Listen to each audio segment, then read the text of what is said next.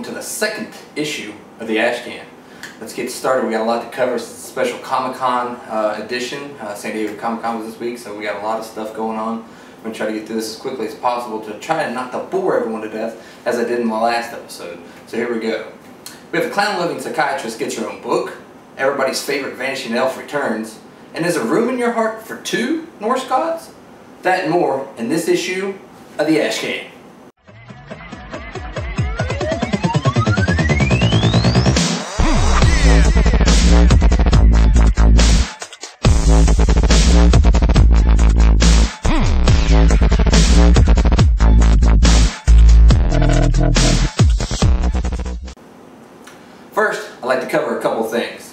Happened at Comic-Con, for the love of God? I thought it was about comic books. Seems to me that we're so far off track at these Comic-Cons, it's not even worth it. I mean, we have four major announcements of some sort of movie. Um, we have TV shows and, and stuff I could care less about. What happened to comic books and major announcements for comic books? It just feels to me like it's getting cheapening and uh, the whole the whole system's just, it's, it's all about money now and it's kind of losing its touch. Uh, for me, uh, personally, probably your local Comic-Con would be your best when it comes to comic book related stuff. If you want, you know, How I Met Your Mother and The Big Bang Theory news, you might check out the San Diego Comic-Con that happens every year. Just my opinion. There was some news that came out kind of uh, underlining uh, some of the movies uh, that are the big news, but we'll cover the big movies uh, anyway. So here we go. We had Superman, Batman was probably the biggest talk at Comic-Con. Uh, everyone's, you know, discussing how that's going to play out. The personal opinion, if Superman was to ever hit Batman in the face, he would be dead. Uh, Superman is has the strength of, you know, a locomotive, and Batman is just a dude. So if they ever were to really fight, uh, Superman would kill Batman in about two seconds. Uh, into that movie, uh, let's move on. Uh, we have uh, the Avengers 2 uh, Age of Ultron coming out, which does sound quite interesting, but I did hear that there's no Hank Pym, so uh, I'm not real sure how that's going to play out. I guess it's not going to follow the comic book that was out this year, but that's okay. Uh, I'm sure it'll be a great movie nevertheless. Uh, we also have Captain America 2 The Winter Soldier. that should be interesting. I'm not real sure how they're going to they're to play that up, but I'll watch that as well. Um, Guardians of the Galaxy is also announced. Uh, they talked about maybe being a little more lighthearted in this Marvel movie. Uh, we'll see how that goes. Um, Marvel's got a pretty good track record so far, so I'm not going to say anything bad about it. Uh, as far as the TV shows went for this Comic-Con, uh, we had Walking Dead Season 4, uh, which I am not a fan. I, I, really don't watch the show, but after watching the trailer, maybe I should because it looked pretty cool.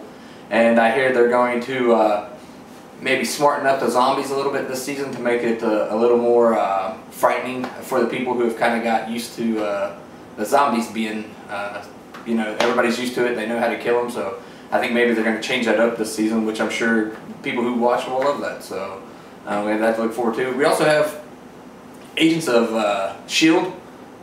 that's coming out. I'm on the fence. hopefully, I mean, it'll be good. I kind of feel like this is a um, Marvel shot at you know milking the cow, so we'll see. Uh, but again, I'll probably watch that, and we'll see where it goes from there. Also, X-Men Days of Future Past. Uh, big announcement for that was that the Sentinels will actually make an appearance uh, in this X-Men, which is very cool. And uh, I can't wait to see how they, they pull it off. The, the movie itself probably halfway decent. Uh, most of those have been so far.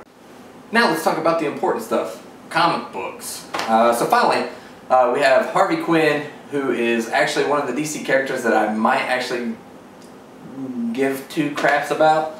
Uh, is finally getting her own book. Uh, she has a nice uh, sense of humor um, about her, so maybe that book will be a little more lighthearted than the uh, darker stuff that DC's been putting out lately. Hopefully it doesn't go too campy though, you know, and she becomes DC's version of Deadpool. And uh, it should be good though. I think uh, Amanda, Con Amanda Conner and uh, Jimmy Pal Palmioto or Palmioto or however you say it. I think they're the two that are behind this, so that should be interesting to watch out. Uh, of course, uh, Nightcrawler is coming back, uh, coming back from the dead apparently in the Amazing X-Men issue one. So I'm sure that'll be a hot seller. Make sure you guys check that out. I know I will be. Also, I talked earlier about two Norse gods. So uh, Walt, uh, Walt Simonson, uh, who was uh, the driving force behind the 80s uh, surge of Thor, is coming back to do a um, IDW book called Ragnarok, which will be a Thor-based uh, book. So it'd be interesting to see um, his style and take on the actual Thor story and, and, and, how similar it will run parallel with the Marvel book. Uh, I'm not real sure how they're going to get away with that, but we'll see. And uh, if it's any reflection on the stuff that Walt's done in the past, I'll be sure to check it out and it'll be a regular that comes to my house. Now let's talk about books coming out this week. Uh, we have Batman Superman number two. Um, I know I talked about it last time a little begrudgingly, but I'm probably going to give it another chance. So make sure you guys do too. It's probably not going to be that bad. Uh, we have Superior Spider-Man uh, Team Up number one coming out. If, if, you're looking for a book that you want to start to follow, maybe that's a good one to pick up on. Uh, looks like he's going to team up with a lot of people. Maybe a pretty good read all in all. Um, Uncanny Avengers number 10 uh, is going to be pretty hot this week. So make sure you pick that up. Uh, see what else I have. Um, had a quick question. Uh, My Little Pony number 9 comes out this week. Looks like it's getting extreme pulls. Don't know why. I don't know what the deal is with this uh, My Little Pony fascination, but if anybody can clue me in on maybe something I'm missing, that would be awesome because I am lost. And finally for my strange pick of the week, I'm going to go with Anti-Heroes number 2. It's a uh, Monkey Brain comic. Uh, if you guys haven't checked it out, make sure you pick up issues 1 and 2. I believe issue 1 is like 99 cents. Uh, issue 2 is fairly close to the same price. Pick it up. Uh, looks like it's going to be an interesting read for everybody. Also, uh, I think each time I film one of these issues, what I'm going to do is, is give an artist that I'm kind of checking out and uh, uh, and maybe you guys can check out some of the artwork they're doing as well. this issue is going to be Greg Horn. Um, he's done stuff for just about every major comic book and independent comic book publishing company out there. He does amazing work. He does a lot of cover art. Uh, so check him out. Uh, go to his website. I'll put it down here at the bottom. Follow him on Twitter. Check out his stuff. Hopefully I'll get the meeting when I go to the Cincinnati Comic Expo coming up in uh, September, I believe it is. Uh, so that would be kind of awesome to maybe get him on and, and do a little interview with him if he'd be willing to do so. Anyway, I think that's going to wrap it up for this issue of the Ashcan.